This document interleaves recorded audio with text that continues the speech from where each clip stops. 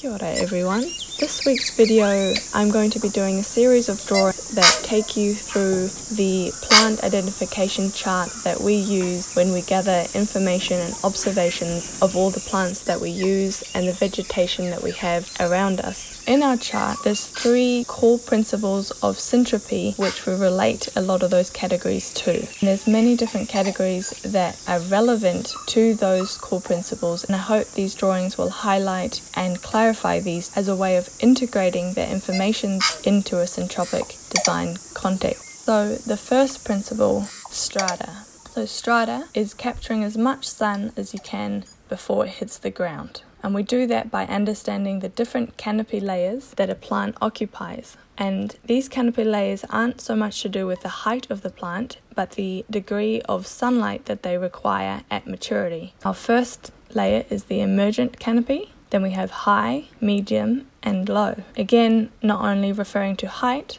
for example, here we have an annual version of this where we have the classic three sister situation where we have the pumpkin sprawling out and occupying that mid to lower strata area. Then we have the corn pushing upwards, occupying that emergent layer, and we have a bean climbing up that corn, capturing the sun on that medium to high layer. In this way, in any consortium, in any community of plants, you'll find that they stratify themselves out into their different niches, occupying different spaces, not creating competition.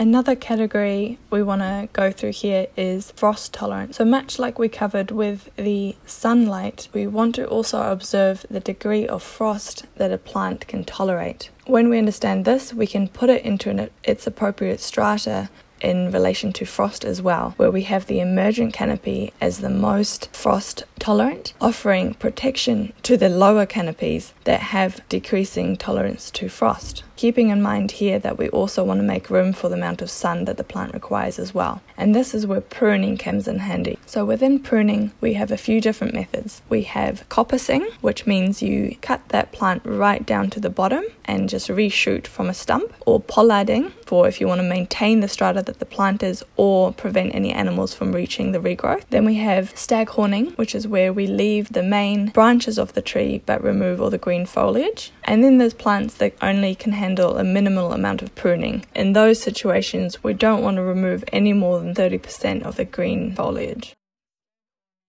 So we have coppicing, pollarding, staghorning, or minimal. Next, we want to observe whether the plant is deciduous or evergreen. So, evergreen means that it remains with leaves throughout the year, dropping the leaves gradually, and deciduous means the tree is bare at winter, so it drops all its leaves. Within one species of plant, you can have different varieties that drop the leaves at different times of a season. We also look at the leaf litter that is dropped. Brown leaves are high in carbon and the nutrients has been absorbed back into the tree. Green leaves are higher in nitrogen. The leaves have actually retained a lot of the nutrients from that tree. These trees, for example Italian alder, them optimal trees for a silvopastoral system where animals can actually graze the grasslands in amongst the trees and also eat the leaf litter as an additional fodder.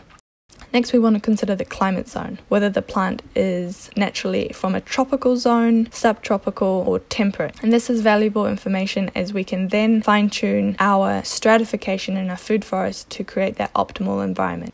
We then also consider the sun intensity that we have. So, in our tropical zone, if we look at our strata within a tropical zone, we find that it's actually quite evenly distributed throughout the different stratas. That density is very present in all the different layers because of that high intensity sun that is able to be captured in our subtropical zone, we have a much higher emergent and high strata compared to our medium and low. This is due to the decrease in sun intensity, and we also have the slight presence of frost in a subtropical zone. And in our temperate regions, our stratification, we have a very little emergent and high strata, and a very dense medium low strata with a lot of herb forms covering the ground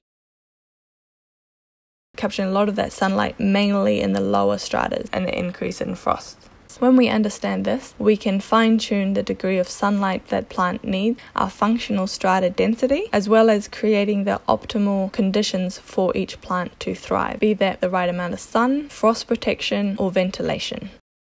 Our second principle of syntropy is life cycle. This we determine as annual, biennial, short lived perennial, long lived perennial, or primary. And you see the years written down there.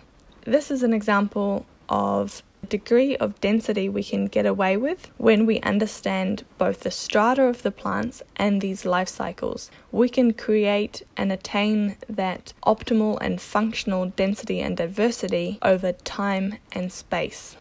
So, for example, all those plants that we saw in that diagram previously, we can see play out like this. So, in the first year, we would have our avocado tree in amongst our tamarillo tree in amongst our chirimoya tree, in amongst our eucalypt tree, in amongst our inga bean. Also planting in our annuals that we mentioned corn, beans, and pumpkin.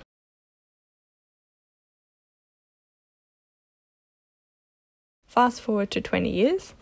Here we have our mature emergent inga bean canopy with our mature fruiting avocado tree happily under the emergent canopy of the inga bean in the high layer. And then nestled among them, we have our chirimoya tree also in fruit production, nestled among them quite happily in that medium to low strata layer. Okay, our third principle of syntropy is succession. So, succession is looking at ground formation and vegetation. So, we have our establishing phase, accumulation, transitionary, and abundant phase.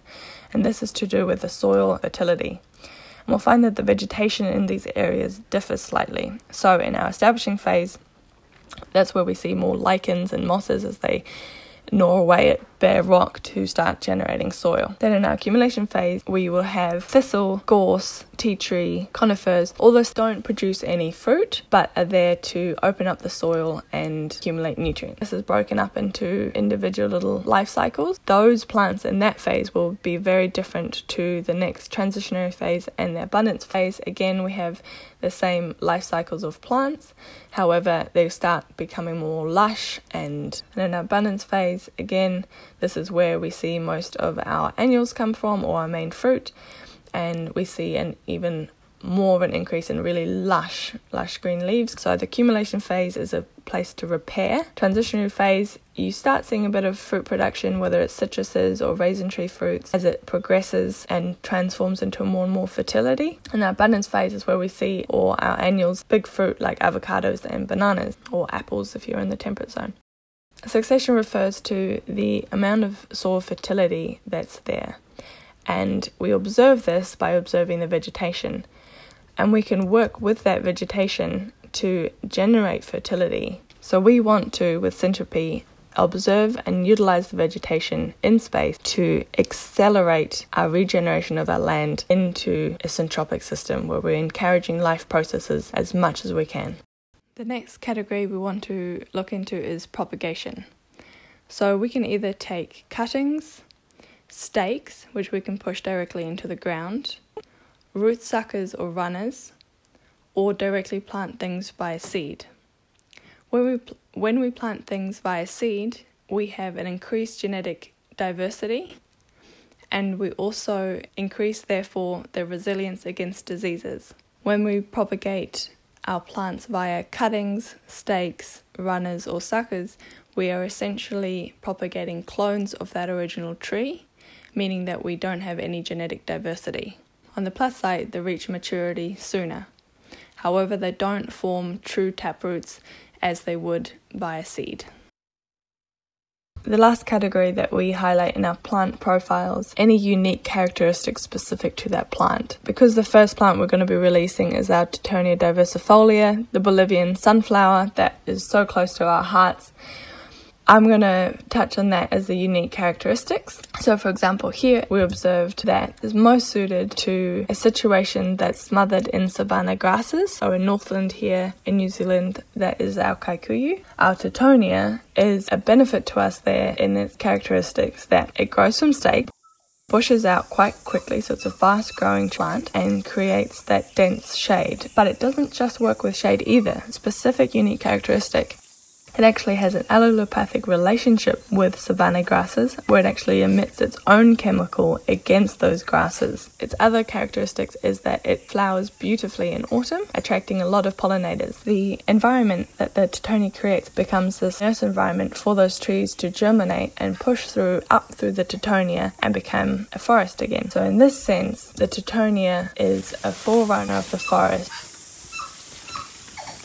That concludes our breakdown of the plant profile template that we use on all the different plants that we utilize. It is through observing and understanding and collecting all this information on each plant that we can really understand their function. And within that, we can stack in both fruit trees, pollinators, native trees, essentially creating a very dynamic and functionally dense ecosystem that we can be a part of as orchestrators we encourage you to go out and gather this information on as many plants as you can. And if you haven't already, jump up to our interactive tier where we will be releasing our own plant profiles to help and aid in this process as well. Thanks for watching. Forward to seeing you all next week.